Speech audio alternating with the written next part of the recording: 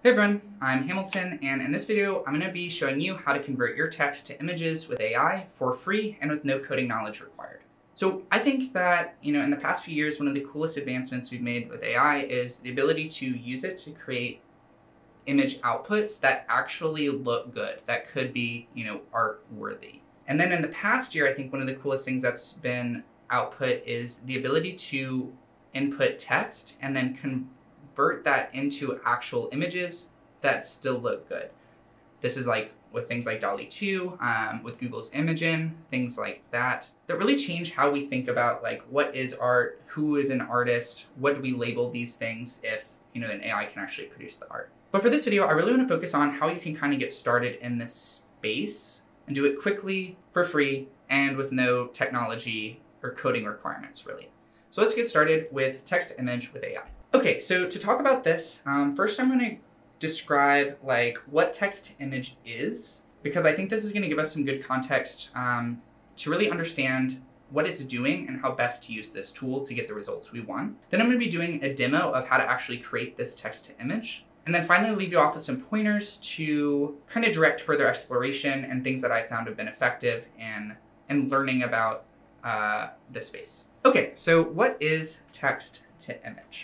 So basically the way this works is that there's this AI and it's been trained on like a bajillion images. So basically any images that are available on the internet and that are like in the public domain has been pushed into this AI along with descriptions about like what is in them, um, what are captions around them, like what do we think is happening in them, things like that. And this constitutes like all the knowledge that this AI has about the world.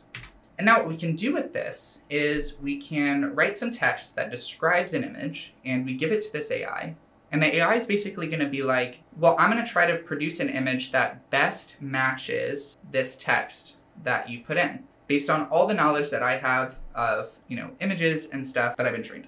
And that's how we get this output image. Um, all these output images that I'm using for an example are part of my new AI art project called Artificial Dreams, which I'll have a link to in the bottom if you're interested. So that's how it works from a high level, but I think there's also one other thing that we should talk about to really help you get the most out of this technology. So there's this idea called diffusion, which is kind of happening internally to the AI, but it really gives this technology a lot of power. And what it allows to happen is that you can create a bunch of different outputs from a single input. So an example of this is like if we give you that same text and then we add this kind of random seed, which is just like a big number, then let's say that the random seed is one, we could get this top image, or two, can get this bottom image. And this is a common design that we see in a lot of generative art um, paradigms because it really allows you to leverage the ability of the technology to produce many different outputs because those outputs are actually vastly different, which creates a very large opportunity space for the images that you're going to be producing. So just something to know, and we'll touch on this a little bit later um, in the form of random seed,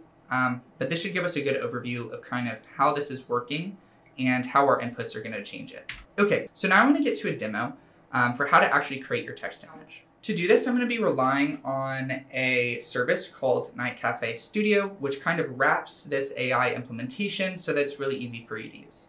So I think there's a lot of pros here. Um, it's free, uh, gives you 10 credits start, 5 extra per day, has really high quality image outputs. I think it's one of the best, if not the best, um, quality outputs I've seen for something that's widely available like this. It's stable and fast. I've been using it a lot. Um, I know a lot of other people that are using it a lot, and most images come out in about 30 seconds, um, and I've never seen it crash on me, um, which is pretty impressive for something that's kind of like a fringe service like this.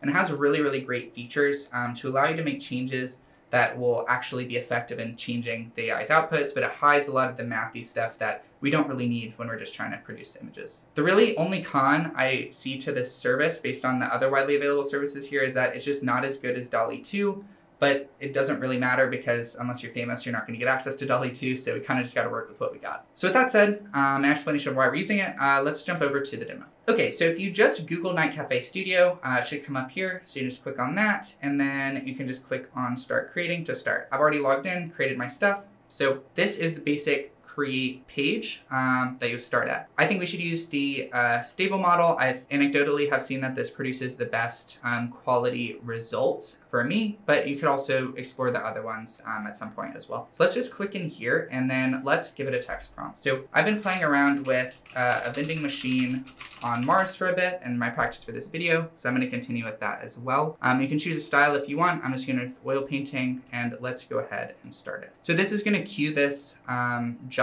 and we're just gonna wait a few seconds and then we'll kind of come back uh, when it finishes. Okay, so this one finished in about 10 seconds and you can see that it created a vending machine that looks on Mars. Um, while I was practicing this video, I created a few other different ones. And you can see that these are all vending machines on Mars, but they are all pretty different in, in the way that they look. And so I think this is a great example of that diffusion principle in practice. Um, the way that this is happening internally is that they're using a different random seed, which is something you can also configure and I'll talk about in a second. But with this, if you've created your prompt and it's generated, then you've now created your first art generation with AI. So congratulations. So with that, you're in a good position to keep creating whatever you want, but I do want to kind of offer a few tips for further things you can explore that I've seen be effective in leveraging this technology.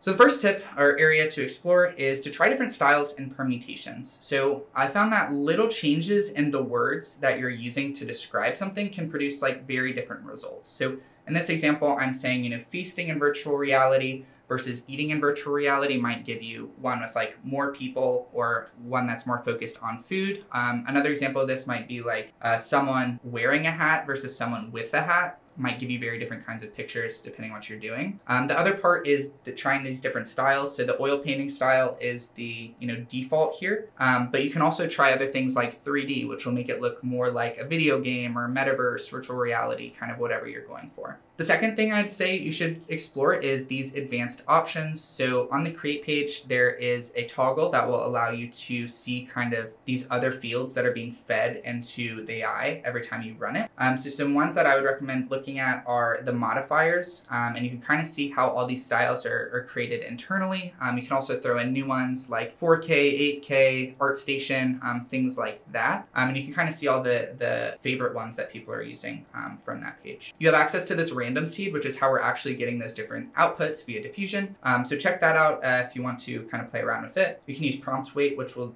do a little bit about like how much is the AI trying to match the exact input you put in versus like making it a little bit more random. Um, and finally, you can play around with the runtime, which is basically like how much do you want the AI to be thinking about how to do this matching. All of these can produce like different kinds of results. So useful levers to pull in, in your exploration.